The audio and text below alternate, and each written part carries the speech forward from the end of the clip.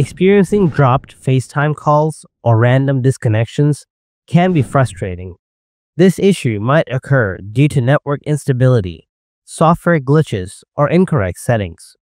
Don't worry, this guide will provide you with effective solutions to help you resolve this problem.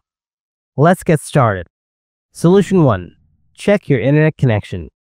A poor internet connection is often the primary cause of FaceTime calls dropping. Swipe down to access the control center. Open a web browser and visit a website like fast.com to test your internet speed. If your internet is unstable, enable airplane mode for 10 seconds. Now turn it off, or try switching between Wi-Fi and cellular data. Solution 2. Restart FaceTime. Switch up on the FaceTime app to close it. Open Settings on your iPhone. Scroll down, tap Apps, and tap on FaceTime. Toggle FaceTime off and then back on. Reopen FaceTime and try making a call again. Solution 3. Enable background app refresh. Open Settings on your iPhone. Scroll down and tap on General.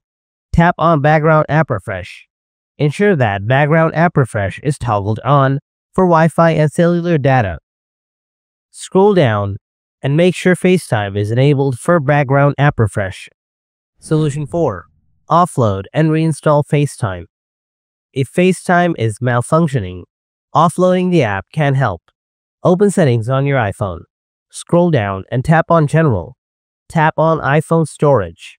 Find FaceTime in the list and tap on it. Tap Offload App, then confirm your choice to offload the app without deleting data. Reinstall FaceTime.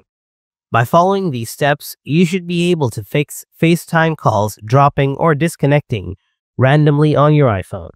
If this guide helped you out, don't forget to subscribe for more troubleshooting tips and stay tuned for the next video.